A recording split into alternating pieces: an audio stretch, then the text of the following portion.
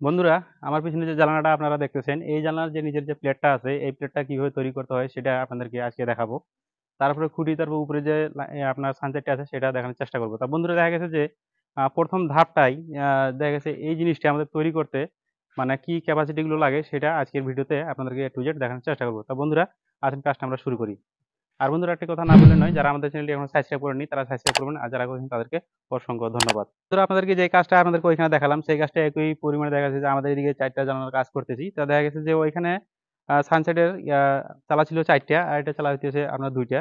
তো যে গেছে নিচের প্লেটটার কথা যেটা আপনাদেরকে বলছিলাম, সেটা কীভাবে তৈরি করতে হয় সেটার মাপটা আপনাদেরকে এখন দেখাবো। তা বন্ধুরা, এই জানালাটা হচ্ছে আমাদের চার ফিট আর যেই সানসেটটির যেটা নিজের জানালার তলির যেটা কাজটা আমরা করতেছি, সেটা হচ্ছে আপনার পাঁচ ফিট আমরা জানালার এই সাইডে আমরা নিচ্ছি ছয় ইঞ্চি এবং এই সাইডে আমরা বাড়তি নিচ্ছি ছয় ইঞ্চি। তো দেখা গেছে এই বোর্ডটা তৈরি করতে আমাদের নিচের যে তুলিটা আছে, সেটা হচ্ছে আপনার ছয় ইঞ্চি। বিড়েরটা হচ্ছে আপনার এই যে ছয় ইঞ্চি। আর উপরের যে আপনার ঢালাইটা যেটা আসবে, সেটা হবে কিন্তু আপনার এখান থেকে এইট থেকে আট ইঞ্চি। আর তলিটা হচ্ছে কিন্তু ছয় ইঞ্চি। আর বিড়টা এখানে দিয়েছি বন্ধুরা আমরা তিনটা।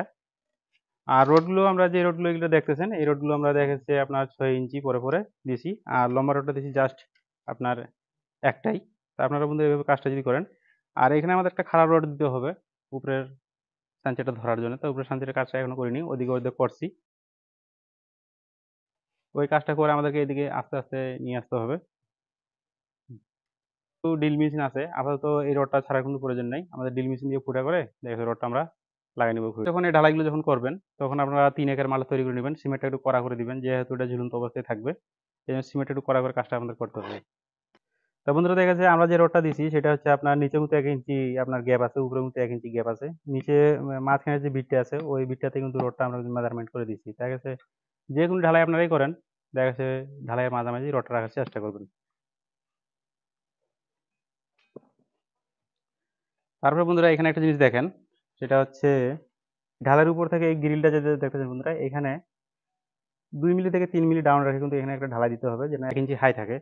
এই হাইটের উপরে কিন্তু আপনার হচ্ছে থাইটা ফিটিং হবে।